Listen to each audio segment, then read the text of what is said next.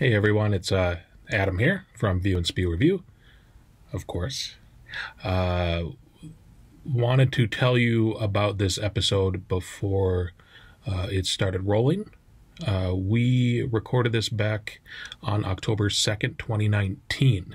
Uh, the reason why it has not been released until now is uh, this was with the new setup, and I had a cable plugged in that was doing some um, audio ground humming.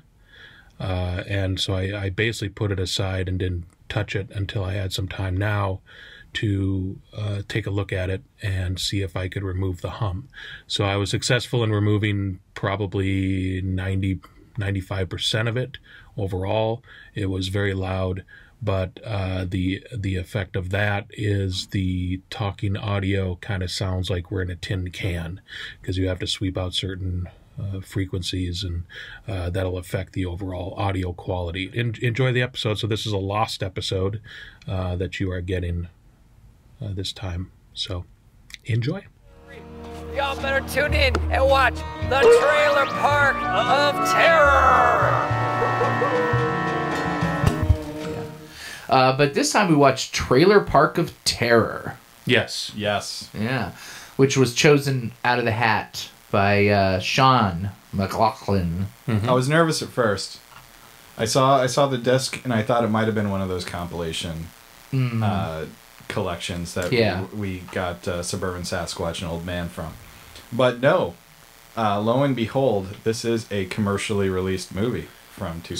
Summit, a Summit release. Yeah, Summit release. Yeah um, which I guess is based on comic book series. Yeah, or or maybe a, a graphic novel. I guess. I mean, I, I think I it's a series. Um, just from when I was looking, there was definitely individual uh, issues. Okay. Um, and it looks kind of like a Tales from the Crypt ish kind of thing, like that.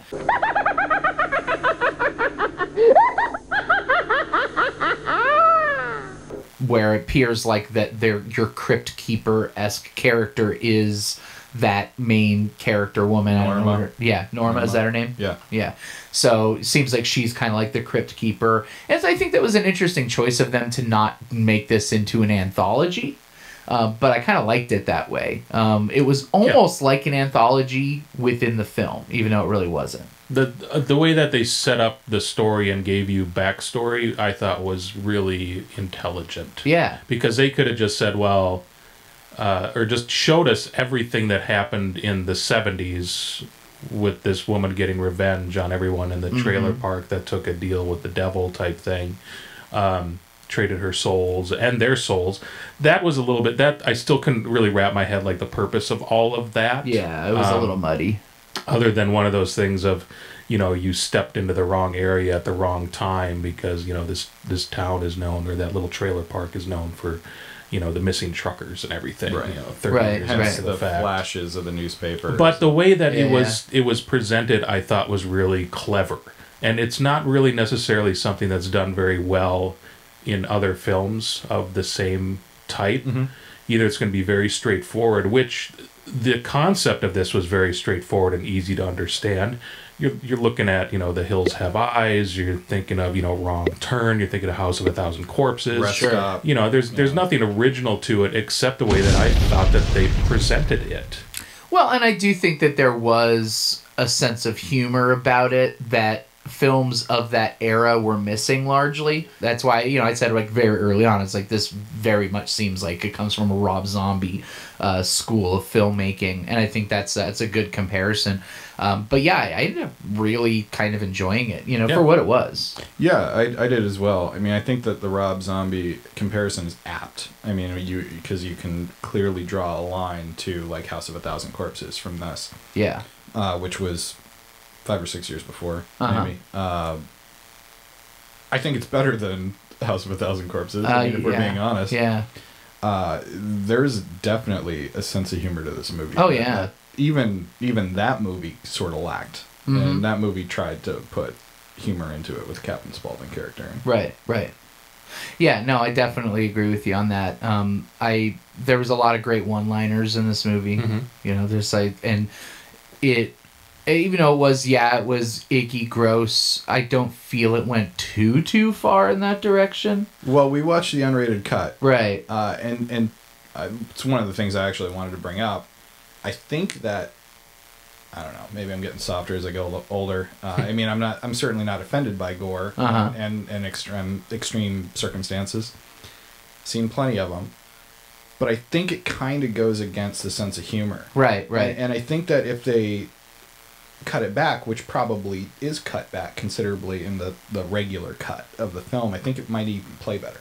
Yeah, I think you might be right because it is definitely something where I think that that aspect of it is it would stop me from watching this movie a lot. You know, Yeah. like, and everybody's different. You know, I like I'm all I'm a big fan of gore. I like bring on the gore, but when you're like skinning a guy and feeding his skin to him and then like deep frying him and stuff like Right. that like you know i guess like it's it's okay. It's just for me it's like i don't want to watch that kind of stuff all the time. There's a certain level of gore that i'm like yeah bring it on. I mean evil dead 2 Sure. like when it's like buckets of blood that kind of like over the top fun kind of thing i got no problem with that kind of stuff you know? I'm like yeah bring that stuff on.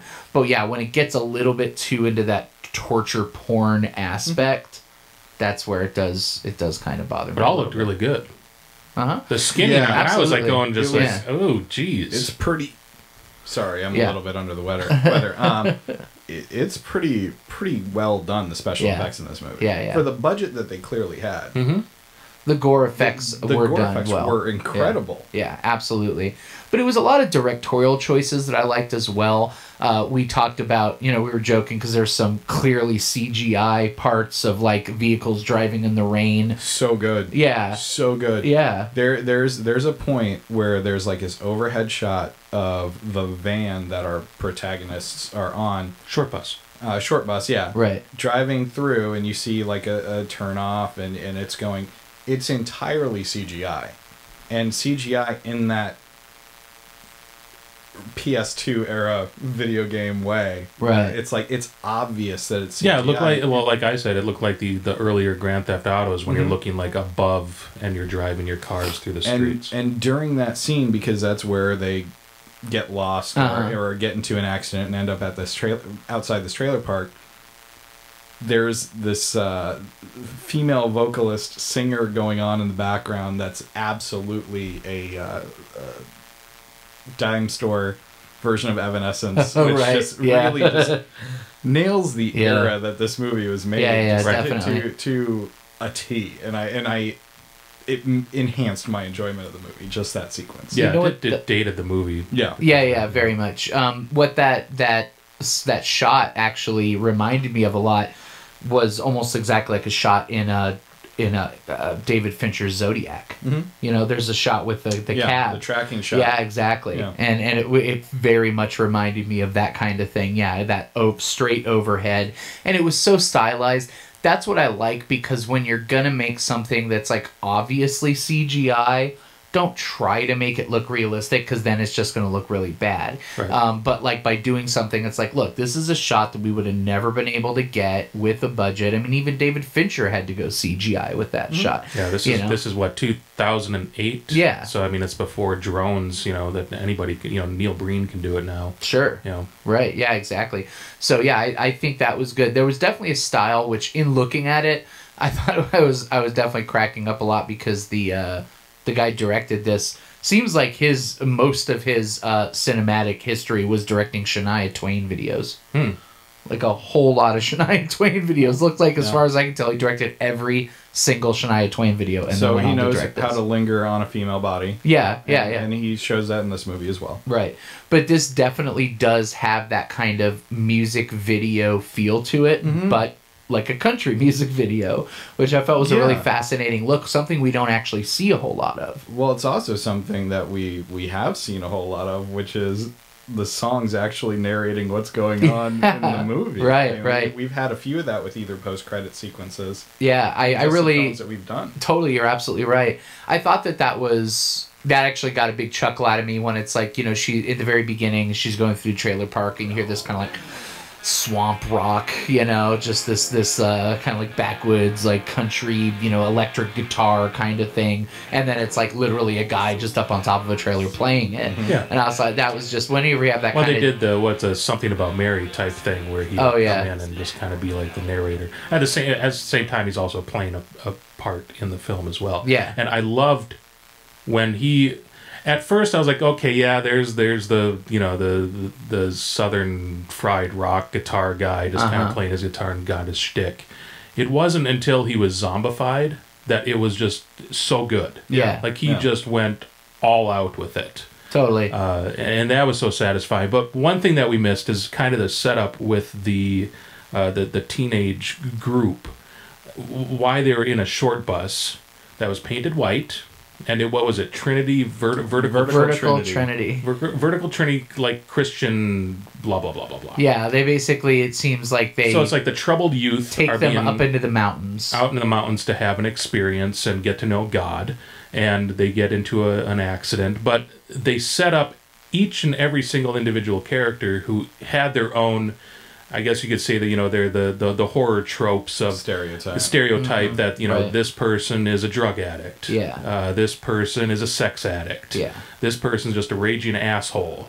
Which I I you know. th- I didn't feel anything for him when he was being skinned. Spoiler alert. Yeah, yeah, sure. It's like I had no sympathy for the guy. Yeah. like, do your fucking worst to that piece of crap because Right. he was just. And then you of had course, the yeah, he was an asshole. you had the uh, the the the homosexual guy. I don't even know if he was. honestly, I think that the guy was Um, or just effeminate was or just just- like Yeah. messing with him and like making fun of him by saying he was. He was the gay computer guy. Right. But- Yeah. But not that he's actually using any Gay for computer skills computers. in this movie. Right, right, maybe yeah. he is gay for computers. Right. That's very possible. Yeah. Uh, but yeah, I mean that guy also. You know, there's always that that morality of a horror movie because like he he gets it too but then you know because like there's the point there's the point where it's like the one girl is like you know asking for him for Beautiful. help and then like the one of the zombies comes out and he just like It throws her her, yeah, down that's good. you know so then it's like yeah okay so you yeah, don't feel he's dead. good. He's gonna He's actually played throughout the movie as like the most moral of the group of kids. Mhm. And you think that he could potentially be a survivor other than the fact that we're watching a horror film and Yeah. we, we know only the woman yeah, we yeah we called the final girl. Yeah, Right, yeah. But um, yeah, there's this point where he he grabs her and just throws her right in front of one of the zombies. Well, that's that's are when you knew away. it was it was over for him. But it was beautiful. Yeah, it was. because It it, was- was, not it just- set up for that to happen. no, not at all. And that's the same Yeah. one of those same things that happened in Spellcaster, where you're just like, what? right I mean, it wasn't like stand up and cheer, but And the zombies don't even kill him. no. yeah, the yeah. final girl kills him. Yeah. without even realizing it, probably right by Right. running running him over with the car. Yeah. as he's locked in a cage It's fantastic. I mean, Yeah. you know, yeah. She, oh gosh. Um, I do want to. Call, so uh, Norma is played by Nichole Hiltz, and I thought she did a really good job. Yeah. So she's kind of like the main girl who, I do like that whole beginning. Uh, it reminded me of something like you know a film that I think doesn't ever get much respect, but I actually think is one of the best in the series, which unfortunately doesn't say much. But that uh, Friday the Thirteenth remake. Um, you know, like I'm not a big fan of the Friday Thirteenth series. I think it's just mostly terrible movies that you know have a you know Jason in it.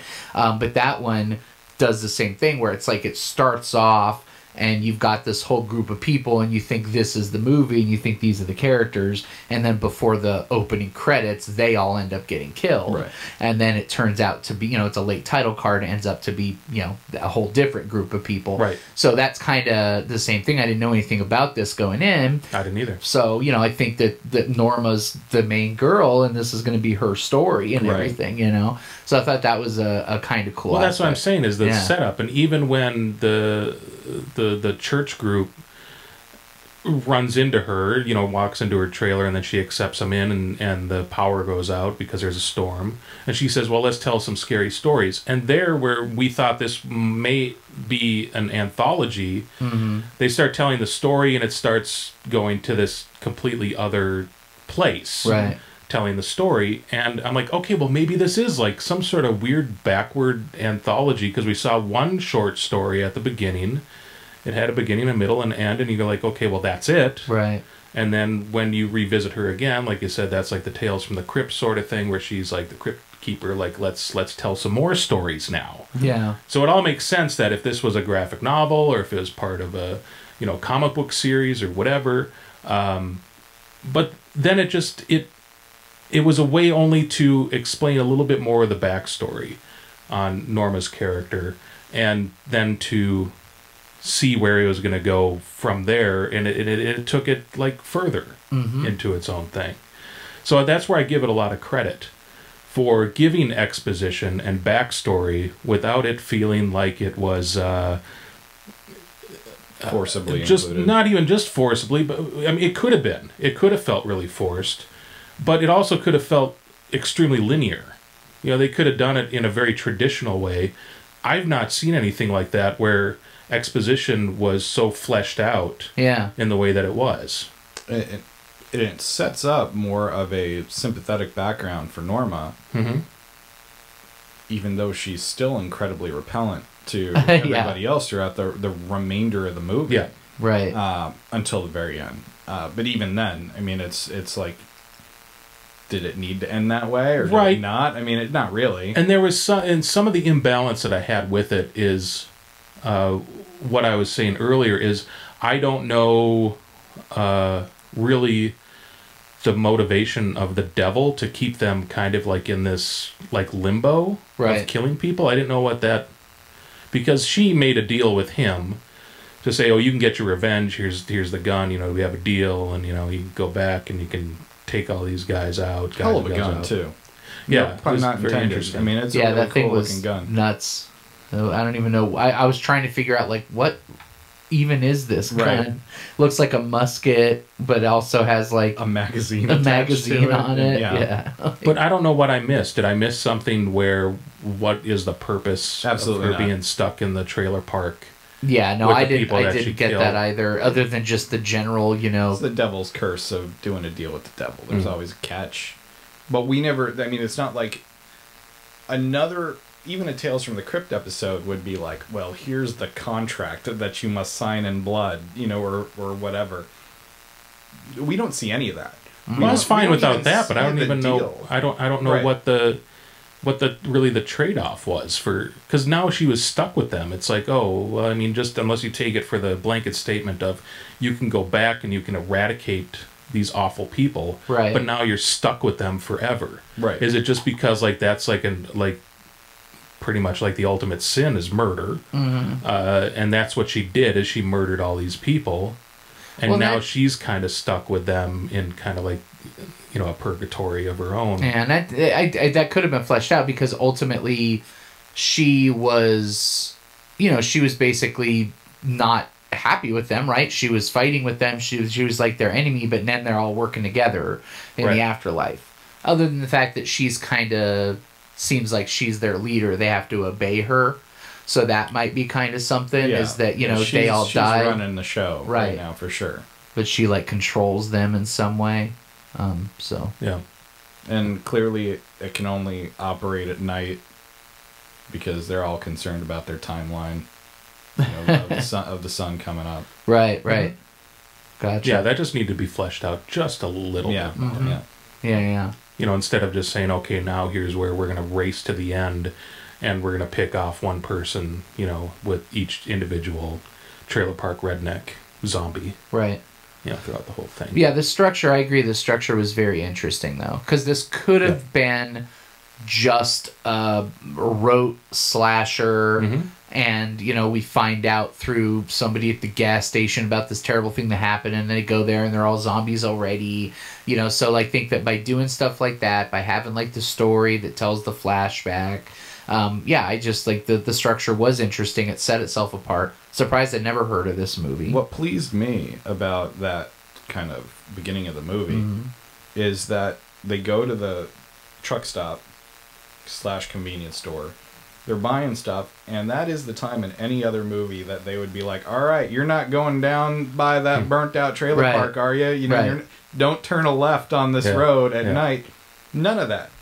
None of that. They Yeah. just keep. They just move move on with life, like they're living their their Yeah, all the, all, all its setup was is just to get to know the the Bible kids. Yeah, exactly. You know, they each got to expose their personalities and kind of where they're they would be headed. and see that most of them are you know assholes. Some of them are beheaded. right. True. Very good point.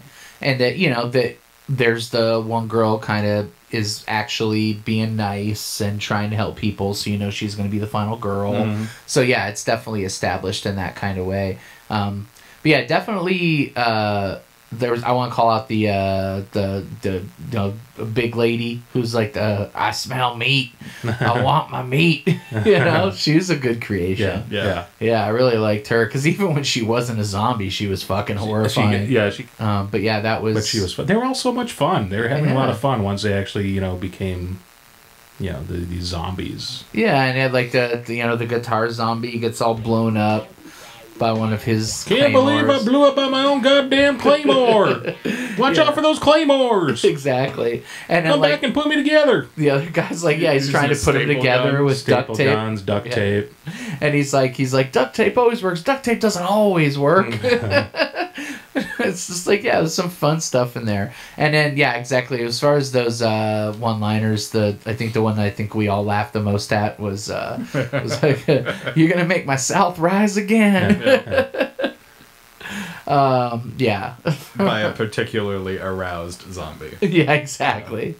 Um, yeah. No, I actually I really agree with what you said earlier though, Shawn. I think that if they would have pulled back a little bit on the I don't know, the mean spirited stuff and just like the just the ultra gore and like the stuff about the you know, like filming the two people, even though they were assholes, it's like it went to a level that I don't think really kept up with the spirit of the rest of the movie. Yeah. No, no, not at all. Well, and and it, when you were saying that too, it also like we did say Texas Chainsaw Massacre too. When they have the scene uh, with um, uh, Mojo Nixon, and and he just takes a hammer and he just keeps bashing him in the head, Right.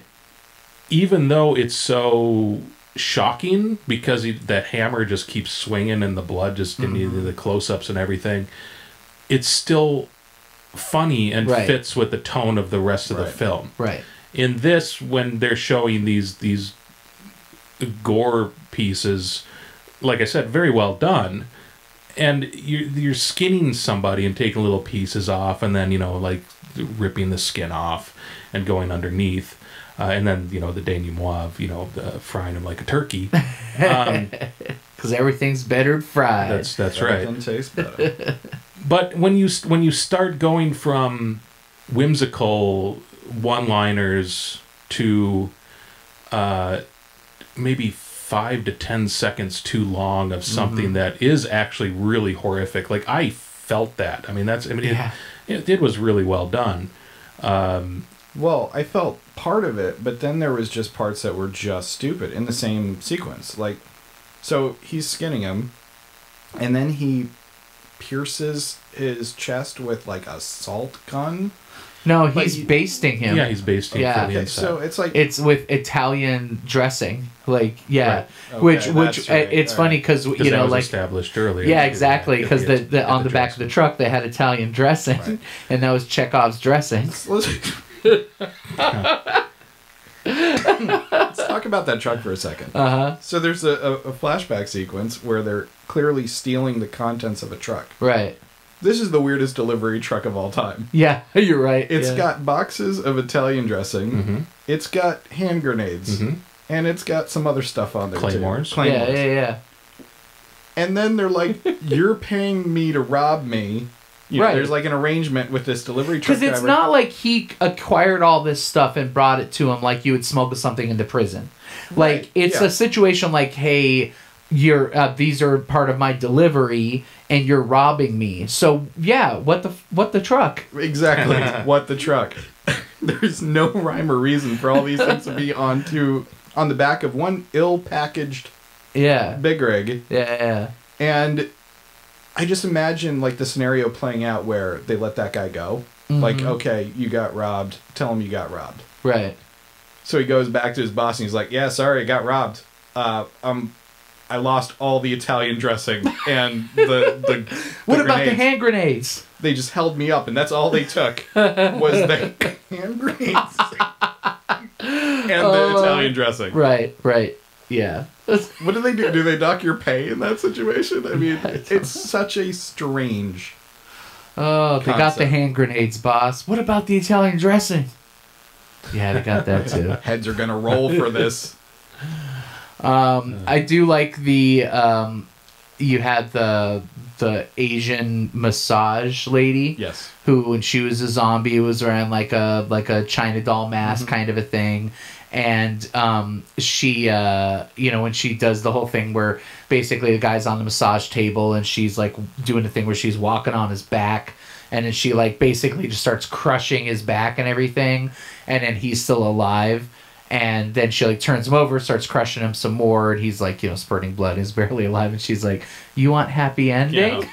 I was like, "That's a good. That's that's a good little slasher line." and like, just no keep, happy no, ending. well, she's trying to Right. jerk him off. yeah, but, yeah, um, yeah, yeah, exactly. And then she just rips the whole thing off, which thankfully they don't show all that. Right. They could have gone a little further on that. I'm glad they. I was expecting a rip off and then a shove in the mouth. yeah, yeah, exactly. Right. Yeah, because that's kind of what this movie was. But yeah, I definitely am glad they showed a little bit of restraint there for sure. um, but yeah, very interesting characters, and and I liked there was little aspects as well that I really liked. Like so in the very beginning when you had. Um, you know, basically, you have Norma, and she's got some guy who's coming to pick her up for a dance, and that's kind of the catalyst for everything that happens because this guy's coming in like all these redneck assholes who live in the trailer park with her, are just harassing her and harassing the guy, and just being a total shit to them. And then ultimately, they end up getting in a scuffle. Some things happen, and then that guy end up ends up getting accidentally killed, impaled on like this fence and she's just like super upset and i feel in a piece of really good acting on her Yeah, part by the way like she yeah. was i think very solid throughout the film and that was like really really good acting especially for a movie of this caliber you don't expect acting of that level Mm-hmm. um, i was like hey she's actually pretty darn good but i really like how like the other guys were like i'm sorry you know like we didn't mean it to go this far. And there was like this real moment of like humanity and connection from them um, where they weren't just monsters you know it's like yeah they're complete fucking monsters in that moment but they didn't really intend to kill the guy. Right. they pushed it too far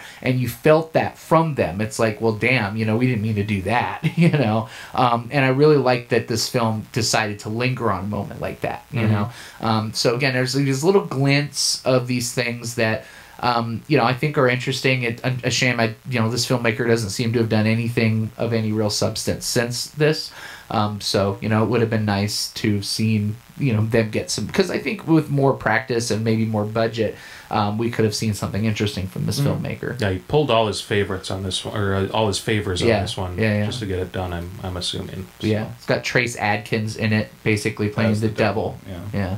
yeah, he's a big dude. Yeah, yeah, he is. But yeah, well spotted because you're like, is that a country singer guy? Well, because I think I've seen him. Like, uh, you know, I think he was in town not too long ago. Oh, okay. Or maybe he does commercials for something. I mean, he's he's he's very recognizable right.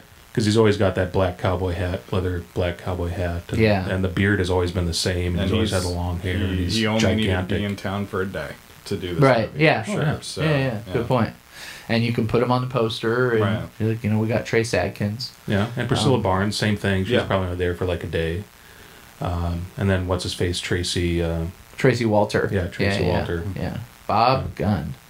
Yeah, exactly. Also, only for one one scene. yeah, yeah, yeah. well, he was sure. he was in the cafe truck stop. Yeah, that's and then true. he was at the Oh, end. That's right. Yeah, that's yeah. right. I totally missed. But he was wearing Yeah. exactly the same thing Right. in both scenes. So Yeah. So sure. Well, it's only the same next day. I mean, or the next morning. I mean, he could have. Good point. he was at the truck stop you know, all night long, drinking Yeah. coffee and eating pie. Mhm.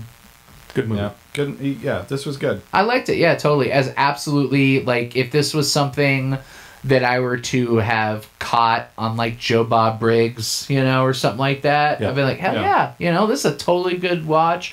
Um, definitely good for around Halloween. I mean, I'm sure by the time this comes out, it's gonna be after Halloween, but you know, right now. Spoiler alert! It is around Halloween, so it's a fantastic uh, one for this time of year. Yeah. I would definitely see if you know if you're doing your 31 days of Halloween, you could absolutely do worse with sliding this in. Do you know if this is available anywhere other than on DVD by chance?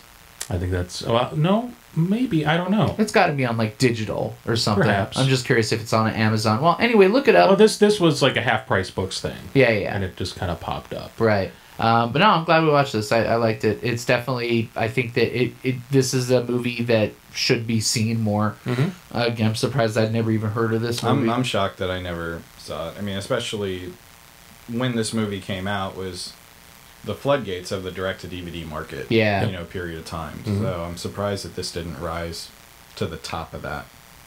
At least in the circles that I Totally. was. Yeah, I mean, I would say if you're a fan of, you know, I would say like if you're a fan of things like Creepshow and that kind of stuff, you'd definitely dig this. But specifically, if you're like a really big fan of that kind of like late 2000s, you know, again, like kind of Hills Have Eyes, Texas Chainsaw Massacre uh, remake, um, you know, again, like you brought up Wrong Turn. Or um, 2000 Maniacs, which they actually referenced Oh, yeah. right in the beginning of the movie. Sure. Oh yeah, yeah. Mm-hmm. Well, they made a lot of good references in this. I mean, that that was one thing that it was. This was something because yeah, they have in the beginning. They're watching this kind of show, which is almost kind of like a Joe Bob Briggs kind of thing, where they're obviously watching movies, and it's called And you know how- Trailer yeah. Park of Terror. How clever to show the title of the movie. Yeah, yeah, yeah, yeah. Through like a A TV, show. Yeah. Yeah, exactly. So there was some good references, kind Mhm. of just tossed in little by little in this. So yeah, definitely worth a watch. I Yeah. enjoyed it. Good, yeah, pick, good if, they- pick, if they wanted to do like a, a follow-up movie, mm-hmm. whether it revolved around this particular trailer park or not, Right. you could still use those guys Mm-hmm. to intro it. He- Exactly. they would be the Crypt Keeper role. Right. Yeah, yeah. or- Cultfollowing.co. Yeah. yep. Check us out on uh, the YouTubes. If you're listening to this on audio and you're wondering what those sound effects are, check us out on YouTube. It'll all make sense. Bye. Bye.